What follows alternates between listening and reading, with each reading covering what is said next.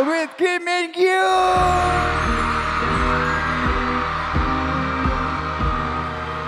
너와 함께 하고 싶은 우리들을 상상하는 게 요즘 내 일상인데